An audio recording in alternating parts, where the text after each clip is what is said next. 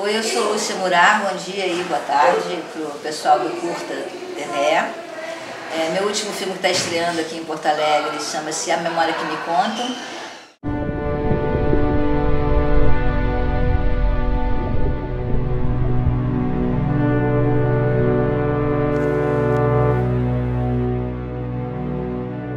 É um filme, bom, como o próprio título diz, que trabalha sobre a memória, mas é fundamentalmente um filme contemporâneo mas é um filme que trata de um grupo de amigos que resistiu à ditadura hoje, um grupo de amigos que hoje tem posições no mundo, posições no Brasil totalmente diferentes, um é ministro, outro é cineasta, outro é artista, e como é que essas pessoas veem o passado e como é que essas pessoas veem o presente. Estados Unidos da América. Embaixador, nós somos revolucionários, somos revolucionários. A questão é que nós não fomos só vítimas. Nós reagimos matamos.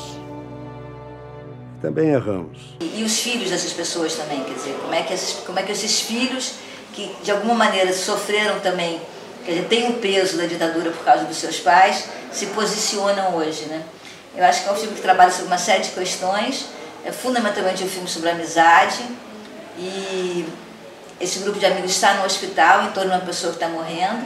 É um filme que tem uma inspiração em fatos reais, quer dizer, ele é uma homenagem a Vera Silva Magalhães, mas é um filme inteiramente ficcional. A gente trabalhou com os personagens buscando o melhor para o próprio filme, o melhor para a dramaturgia do filme.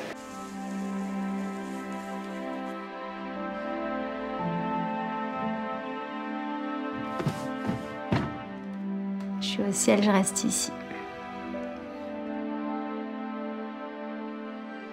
Dona Irene, vocês realmente acham que vocês já fizeram tudo, não é?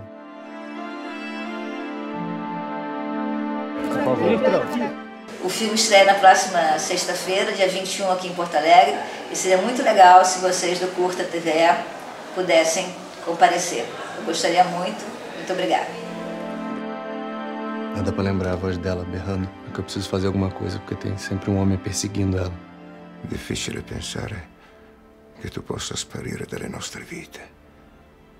Così da nulla.